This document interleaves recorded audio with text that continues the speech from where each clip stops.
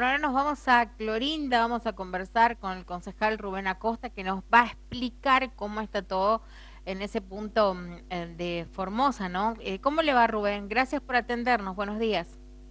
Buenos días, ¿cómo están ustedes?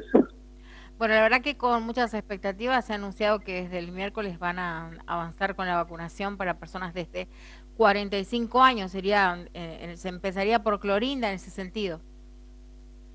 Sí, esa es la noticia que tenemos, considero que es muy importante, ¿no? Eh, bueno, también te comento que por ahí muchas cosas que explicar no tendrían el sentido que hoy seguramente van a anunciar acabando el intendente las nuevas medidas que habría o qué pasaría a partir de este lunes con respecto al, a en qué fase estaríamos, ¿no? Porque ya desconocemos en qué, en qué fase exactamente estamos debido a que hay algunas cosas que sí están y otras que no. Así que vamos a ver qué, qué, seguramente novedades ya más, eh, más claras al, respecto, ¿no? En lo que hace las actividades de clorina, me, refiero, ¿no? Claro, sí, eh, incluso el ministro de Economía ayer anticipaba en la conferencia de prensa que suele dar, eh, o que se suele dar desde el Consejo de Atención a la Emergencia, que iba a haber nuevas medidas que se estaban estudiando en base al crecimiento de el COVID en todo el país, bueno, de ahí por supuesto incluida Formosa, más Clorinda que está tan cerca de la zona limítrofe y con Paraguay, de frontera también, de hecho.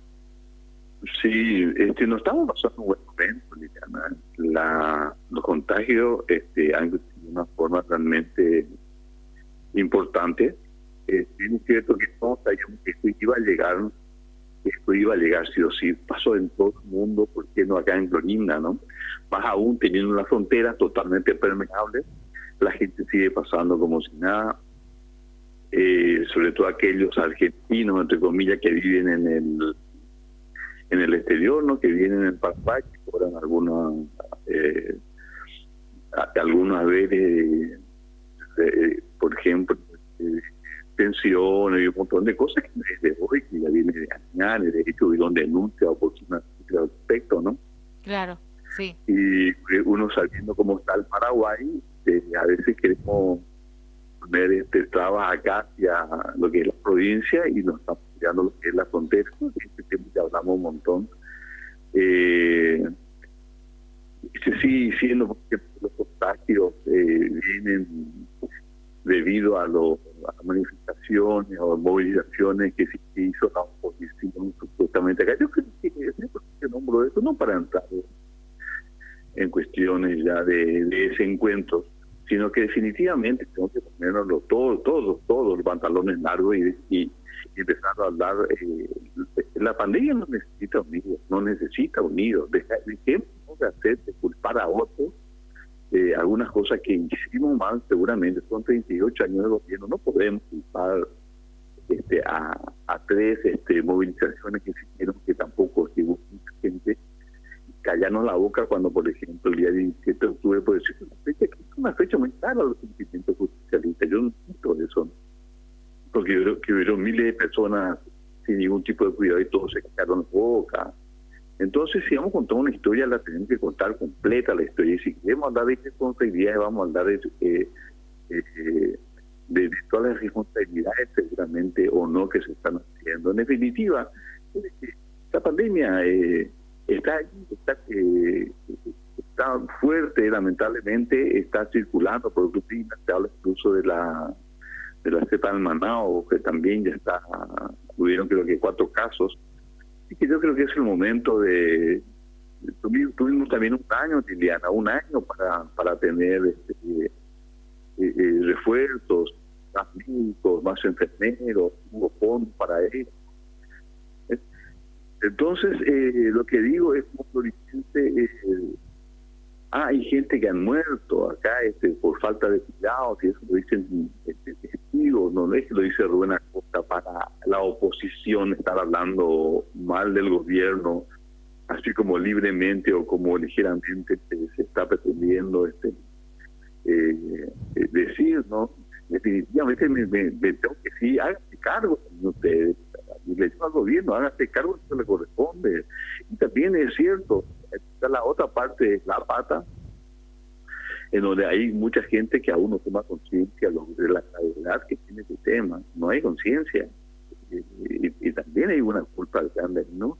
Entonces, en definitiva, Liliana, lo que te digo, tomemos en serio esto, dejemos de, culpar a la gente, hagámonos cargo de, lo que están gobernando. Acá lo que hacemos oposición, estamos a su disposición para que haga falta es el momento que estemos juntos, los técnicos, vamos a salir lo más pronto posible de esta situación que lamentablemente es muy preocupante. ¿no? Digo, hasta esta hora, Rubén, ¿cómo están con relación al tema de los comercios eh, abiertos? en, qué fase? Bueno, difícil definir la fase, ¿no? Pero ¿qué se puede hacer en Clorinda hasta esta hora? No, de, esta mañana los comercios van a estar abiertos. Por eso decía que hay que aguardar a ver qué, qué novedades tenemos hoy, porque ayer terminaron esos días de, este, de esa fase que era anterior que, que nos había hablado el intendente, ¿no? Así que hay que estar atento a qué tipo de novedades tenemos, ¿no? Para ver si hay otras actividades este que también se pueden agregar a, que comiencen a funcionar de porque la, eh, porque la gente, un año, estamos cumpliendo un año con este, este problema y realmente la parte económica es para muchos sectores realmente lamentable. ¿no? Entonces, bueno, vamos, ¿qué sigue pasando hoy? Por eso no, me, no me quiero apresurar, no quiero cometerle responsabilidades, decirte eh, cosas que, hay, que seguramente el, el intendente esta mañana eh, nos va a comentar sin ninguna duda, ¿no?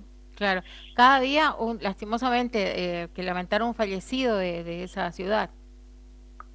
Sí, mira, y bueno, eh, mira, eh, puedo decirte algo donde se toca mucho la gastronomía, por ejemplo. Nadie cree, ni yo tampoco, que eh, porque estén abiertos los bares, van a contagiar a la gente. Nosotros hemos ido a casi todos los bares eh, cuando cuando se podía ir para solamente para observar cómo se comportaba la gente, cómo se comportaban eh, los dueños de los bares, para que y estaban todas las precauciones, tomaban todos los protocolos, todos los protocolos. Entonces yo no creo que ahí esté el, la fuente del contagio, ¿no? Eh, ciertamente vienen por y por otro lado vos ves, por ejemplo, que la gente viene en Paraguay prácticamente como si nada, eso lo sabe todo el mundo, hay filmación, todo al respecto. Y entonces eh, yo creo que tenemos que considerar una cosa, eh, no sé qué, qué, habrá considerado estos fines de semana, seguramente habrá trabajado con su grupo, con su grupo de trabajo, el intendente, supongo, y para ver qué nos da esto, ¿no? Eh, teníamos partir la fecha, ¿no? ¿O no? Eh, bueno, concejal, muchas gracias por la comunicación. ¿eh? A ustedes que tengan un buen inicio de semana y saludo a todos los chicos ahí del Gracias, que tengan un buen día. Bueno, el concejal Rubén Acosta desde Clorinda nos daba un panorama general, ¿no? De cómo están las cosas desde ese punto de la ciudad.